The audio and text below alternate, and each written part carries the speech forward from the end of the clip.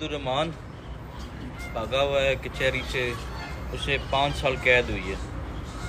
हमारे पे, मेरे पे छोटा सा पर्चा होता है तेरहवीं पैंट का तो पुलिस बागी आती है, सात दस गाड़ियाँ भी ले आती हैं। वो कहाँ गया है?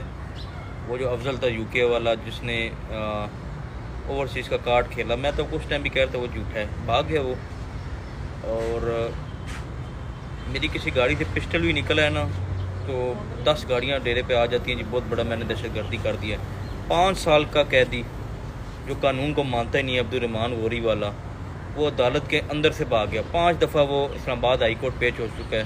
पुलिस उसको क्यों नहीं पकड़ी? क्या पैसों की ज़ोर की वजह से नहीं पकड़ी? दस तारीख वो फिर आएगा कचहरी, इस्लामाबाद। पुलिस उसको नहीं पकड़ी। हाँ एक बात मैं गौरी की मुतरसिनों को बताऊँगा कि बैरिया इनक्लेव इस्लामाबाद में ये अपना प्रोजेक्ट बना रहा है। वो उसका प्रोजेक्ट नहीं है, आप लोगों का प्रोजेक्ट है। इसके वो मॉम डैड बच्चे भी आए होते हैं। आप जाएँ बैरिया इनक्लेव प्रोजेक्ट में वो काम रुकवाएँ। चढ़ने मैं भी नहीं देता, मैं भी इंशाल्लाह इंतज़ार करूँ, मेरी नज़र है उस पर वो आपके खून पसीने, लोगों की खून पसीने की कमाई से वहाँ पे बैरिया इनकलेव में प्रोजेक्ट बना रहे उसको आप लोग रोकें। कामयाब मैं भी नहीं होने दूँगा, मैं एक टाइम का थोड़ा वेट कर रहा हूँ, जहाँ मैं उसको रोक दूँगा। पुलिस को मैं कहूँगा कि आप अब्दुलरहमान को गिरफ़्तार करें गुनगार करें। मैं अपनी हर तरीक़ पे पेश होता हूँ। मैं अपनी हर तरीक़ पे पेश होता हूँ। सबको पता है कि गोरी के जितने एग्रीमेंट है, ये रहमान के थे। पाँच साल का कैदी होकर ये सरेआम रोडों में फिर रहा है। सबको पता है ये किसके पास है, किन बंदों के पास छुपा हुआ है, वो आम से बंदे हैं। कभी वो पीटीआई की गोद में बैठे होते हैं, कभी नून की गोद में। उनकी कोई वैल्यू का तो है नहीं। आप अब्दुलरहमान को पकड़ें, गिरफ़्तार करें। बाकी रहमान याद है, पहले भी ये जेल गया था तो ये मेरे पाँव पकड़ लिए इसने। कॉन्फ्रेंस रूम में कहता, जी, मुझे बी क्लास करा दो, अस्पताल का तो मरने लगा इस दफ़ा मैंने डयाला जेल में इस्तेबाल की तैयारी की हुई। इसे पता लगेगा कि अब ये जेल जा रहा है। रहमान, सब वज़ीरों के पास से तुम हो आए हो, सबसे मुझे सिफारिश करा लिए, क्या हुआ? कुछ हुआ? मैं इन वज़ीरों को नहीं मानता। मैं अल्लाह के सिवा किसी के आगे नहीं झुकता। आप लिए बहुत बड़ी तोप होंगे, मेरे लिए उसकी कोई वैल्यू नहीं है इतनी।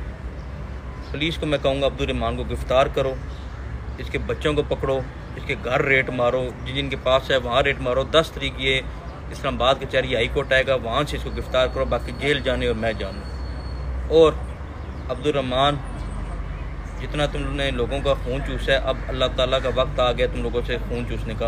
और सुना मैंने इसने कोई बाईस या तेईस गार्ड रखे हैं। गार्डों को कहूँगा, तुम लोग तनख्वाही लो अपने मज़े करो, बाकी लड़ने वाला नहीं है। ना इसने बेटे का बदला लिया है, ना नुमान खालद से लिया है। मैं रहमान के बेटों का पैगाम दूँगा, गार्ड रखने से पहले शर्म कर लो। विक्टोरिया हाइट्स नाम का ये बना रहा है। ख्वाब देखा इसे बनाने का, मैं तुझको विक्टोरिया तक नहीं पहुँचने दूँगा कि ये वो टावर बना रहा है। वो मुतरसिनो गोरी वालों का टावर है। इसका बेटा वो माम, डैड, बच्चा सा खड़ा होता है। पहले यार तुम लोग अपने भाइयों के बदले ले लो। नुमान खालिद से तुम्हारा क्या रिश्ता है? जिसके साथ मैं क्या कहूँ? एक सरकारी मुलाजमीन के पास कहाँ से इतने तनख्वाह पैसे आए कि वो प्लाट का मालिक बन गए? हिब्बा भी जो होता है ना, वो अपने खूनी रिश्ते पे होता है। पहले घर संभालो मान खालत को संभालो, फिर साथ गार्ड रखो। गार्ड अपनी तनख्वाहें लें, पूरा करे, इसे लड़ना कौन नहीं है? दुआ कर मेरे जनाजे पे शादी खुशी में ये सामने ना आ जाए, नहीं तो सब उधर तितर वितर भाग जाएँगे। अब्दुलरहमान बहुत बुरा वक्त तुम पे पहले भी था, अब और इंशाल्लाह होगा। अडयाला जेल में मैं तेरी तैयारी कर हूँ। पुलिस को कहूँगा, इसको पकड़े। ये जैली बंदा है डरपुकल बंदा है बुजदल बंदा है। इस जैसे बंदे भी अगर गोरिया लोग पैसा खाए तो फिर हम लोगों का क्या फ़ायदा है? इन मेरा लोगों से वादा है। अब बैरियन क्लेव जाओ, विक्टोरिया, इसको रोको। मेरी भी उस प्रोजेक्ट पर पूरी नज़र है। मैं इसको कामयाब नहीं होने दूँगा इन शुक्रिया।